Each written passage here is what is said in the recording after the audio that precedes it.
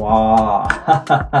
Can you see? It is showing enter the password. Now I will use this keypad. If I press 1, 2, 3, 4, then for execution I have written star. Yeah, access and it is showing green signal. For example, if I enter something 1, 2, 3, then this is A. Then if I run, you can see it is red signal no access denied. Once again so today in this uh, session we will learn how to use this 4 into 4 keypad for lock and unlock system. So for this project we want this 4 into 4 keypad arduino board. This is our lcd and you can see this lcd has four pins. Then we will use this breadboard uh, two leds and this uh, piezo buzzer some connecting wire. And of course we want some resistor here uh, 100 ohm or 200 ohm resistor. But i will be using this one without resistor. You can do and you can use resistor also. So let us see the connection and how to connect. This lcd has four pins. You can see it is ground vcc SDA and scl so the ground will be connected to the you can see here this is power pin. So i can connect to the ground. The vcc i will connect to the 5 volt SDA you can see here I have written all the connection for this LCD so ground VCC 5 volt SDA A4 SDA to A4 you can see here analog pin then a5 last from a5 yeah. So the lcd connection finished. In this keypad you will find out 18 starting from c1 c2 c uh, c3 and c4 similarly r1 r2 rb and r4 you can find out all the pins. This 4 and this 4 i have written all the connection here. R1 r2 and rb will connect 2 3 4 5 respectively. So you can see here in this digital pin you can see 2 3 4 5 pin number 2 3 4 5 finished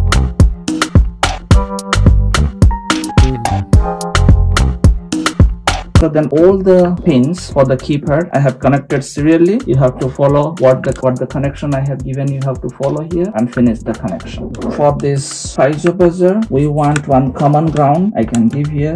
This is common ground for all. Then i will give one positive to this piezo buzzer. You can see the piezo buzzer has two pins. You can see here two pins. So one i will give you the the longer one is positive. The longer one is positive and the shorter one is negative the ground i'm giving to one ground here. You can connect either this south ground or this ground. For led i will use for led i will use in number 11 and 12 piezo buzzer i'm using pin number 10 so you can see all the connection.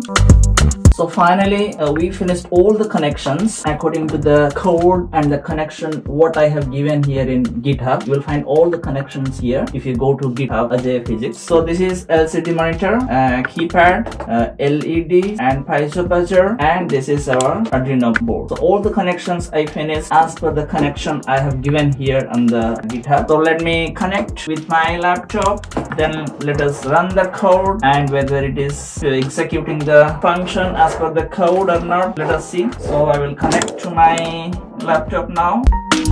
Our connection is almost all correct. Now we will go to our arduino yeah. So then from the github i will copy the code. This code i have already written here so that it will be easy for you to copy and paste. So you will copy everything from the github control c. Then you will go to arduino then you will select the board. Then now see that LCD is not showing anything. Once I run here wow.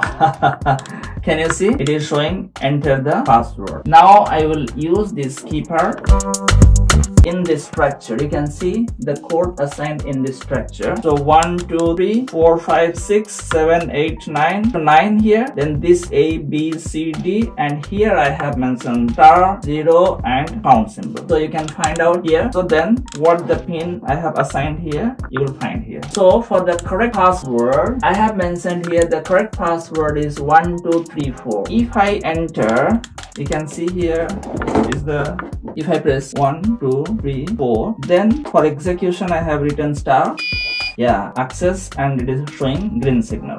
For example if I enter something 1 2 3 then this is A. Then if I run you can see it is red signal no access denied. Once again one two three and some letter you can see one two three a. If i run is access denied. If I write the correct one, 1, 2, 3, 4, you can see 1, 2, 3, 4. Now if I enter, yes, access granted and the green signal. So this is the system, this LCD and this keypad we are using to make some project, small project for school level students. So you can use this one and make some project. And if you want any help, you can write here and all the things I have given here in the description. So you can find out in the description and use it.